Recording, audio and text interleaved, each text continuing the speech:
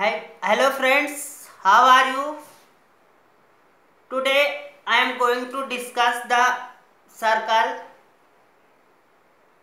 First of all we should understand what is the circle.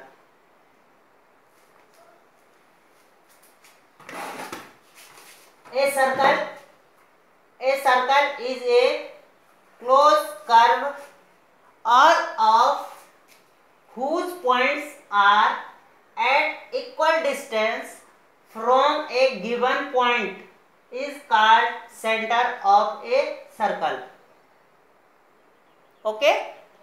एक बार और समझ लेते हैं। A circle is a close curve all of whose points are at equal distance from a given point is called centre of the circle मतलब कि ये कोई एक पॉइंट है, ठीक है? और यहाँ से हम क्या करते हैं? सर्कल ड्रॉ करते हैं। तो सर्कल क्या होता है कि एक ऐसा पॉइंट के चारों ओर का, चारों, किसी पॉइंट के चारों ओर की इक्वल डिस्टेंस यानी कि कोई ये पॉइंट है जिसको सेंटर बोलते हैं, इसको ओ से डिनोट कर दिया। तो इसके चारों ओर की इक्वल डिस्टेंस को ही क्या बोला जाएगा? सर्कल बोला जाएगा।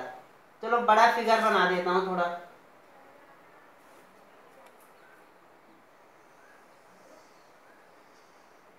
ओके ये इसका सेंटर हो जाएगा। दूसरा आता है रेडियस तो ये सेंटर है एक तरफ़ की डिस्टेंस ये इसका सरकमफ्रेंस होता है, जो एक गोल वाला हिस्सा होता है वो सरकमफ्रेंस होता है ओके ये सरकमफ्रेंस है। तो यानी सेंटर से एक तरफ़ सरकमफ्रेंस का हिस्सा, यहाँ से चाहे यहाँ ले लो, चाहे यहाँ से यहाँ ले लो, चाहे यहाँ से यहाँ ले लो, यहाँ से यहाँ ले लो, ये क्या है? रेडियस है। और ये सरकमफ्रेंस है। ठीक है? नेक्स्ट चीज़ आते हैं कॉल्ड कॉल्ड क्या होता है कि यानी कि यहाँ से यहाँ तक का हिस्सा। Joining any two point of circumference मतलब सरकमफ्रेंस के कोई भी दो पॉइंट को ज्वाइन करने वाला जो हिस्सा होता है, उसी को क्या बोलते हैं? कॉल्ड बोला जाता है। ये कॉल्ड हो जाएगा, ये आपकी रेडियस हो जाएगी। ओके उसके बाद आता है डायमीटर वैसे ये कॉर्ड भी डायमीटर भी एक कॉर्ड होती है, लेकिन उसका फीचर्स क्या है, वो सेंटर से जानी चाहिए। मतलब?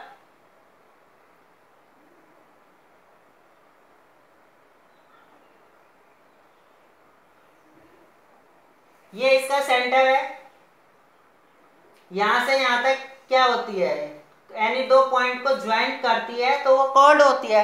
लेकिन हम इसको डायमीटर बोलते हैं।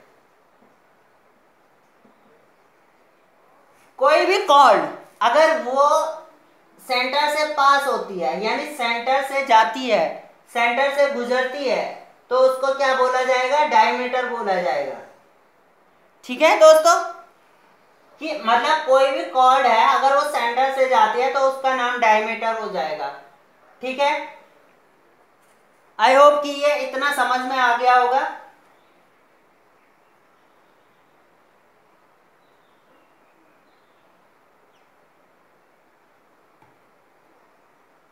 उसके बाद आता है आपका?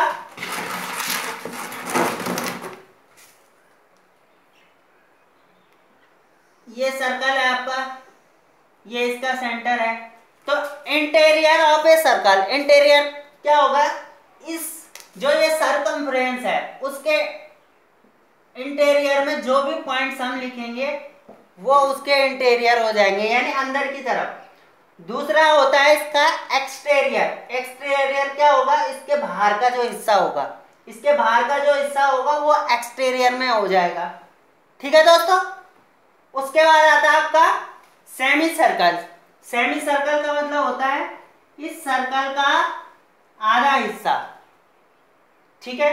यानी ये एक सेमी सर्कल हो गया आपका. ऊपर का हिस्सा चाहे ये वाला जो पोर्शन होगा वो आपका सेमी सर्कल हो जाएगा। ठीक है दोस्तों? उसके बाद आर्क क्या होगा? मतलब any point in a circle जैसे आर्क ये वाला हिस्सा, जैसे मैंने ये इसको हटा दिया तो ये क्या बन गया? एक आर्क बन गया। ठीक है? जैसे जिसको हिंदी में चाप बोला जाता आर्क ये वाला पोर्शन जैसे मैंने ये ले लिया तो ए बी इसका नाम दे दिया। तो इसको कैसे, जैसे ये लेना, ये वाला जो हिस्सा है, इसको आर्क ए बी लेंगे ना तो इसको ऐसे डिनोट करेंगे। ए बी और उसके ऊपर ऐसे लगा देंगे, ठीक है? तो ये क्या हो जाएगा?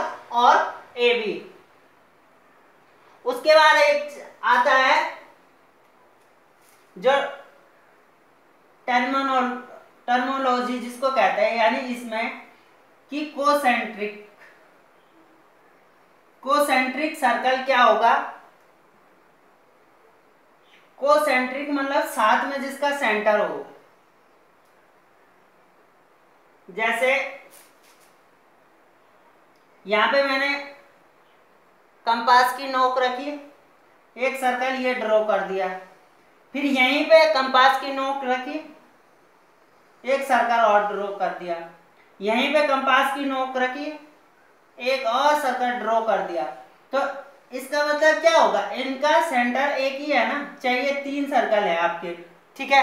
इनका सेंटर एक ही है। ऐसे सर्कल जिनका सेंटर एक ही हो having same centre is call concentric circle अब इसमें सेगमेंट की बात आती है कि सेगमेंट क्या होता है?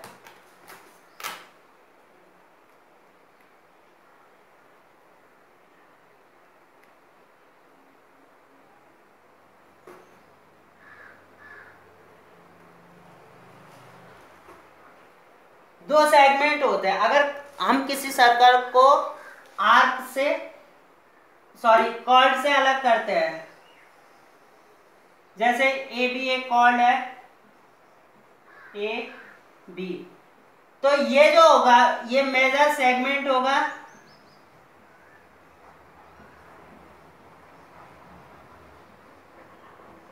और जो नीचे वाला होगा, ये माइनर सेगमेंट होगा।